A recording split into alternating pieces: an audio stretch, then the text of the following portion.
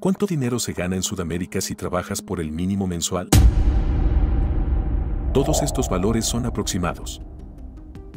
Comenzamos con Argentina, el sueldo mínimo es de aproximadamente 570 dólares. Está sujeto a ajustes periódicos debido a la alta inflación y fluctuaciones económicas, el salario puede variar regionalmente y por sector. Bolivia, el sueldo mínimo ronda los 330 dólares. Este monto puede no ser suficiente para cubrir el costo de vida en las principales ciudades, pero es un estándar regulado a nivel nacional. ¿Cuánto se gana en Brasil? El sueldo mínimo de aproximadamente es de 300 dólares y este salario se ajusta anualmente.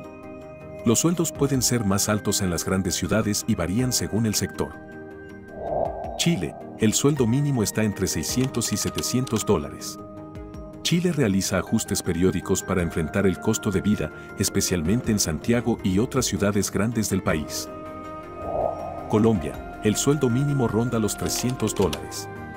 A menudo se ajusta para abordar las necesidades básicas y se complementa con subsidios para ayudar a los trabajadores de bajos ingresos.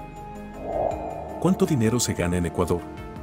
Con un salario mínimo de aproximadamente 450 dólares, Ecuador realiza ajustes anuales.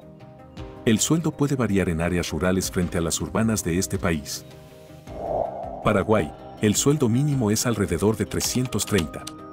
Aunque es bajo en comparación con otros países, los ajustes se hacen para mitigar el impacto del costo de vida. Perú, el salario mínimo ronda los 300 dólares. Se actualiza regularmente para mejorar la calidad de vida y se ajusta según el contexto económico del país. Uruguay, el sueldo mínimo es de aproximadamente mil dólares. Sin duda, uno de los más altos de la región. Los ajustes se realizan para mantener el poder adquisitivo en un entorno económico estable. ¿Cuánto dinero se cobra en Venezuela? Los sueldos mínimos varían ampliamente debido a la inflación extrema, rondando entre 50 y 100 dólares.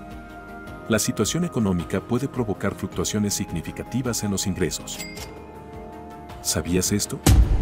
Si eres de alguno de estos países, dime qué opinas en los comentarios. Aquí tienes más videos increíbles sobre los países más grandes del mundo.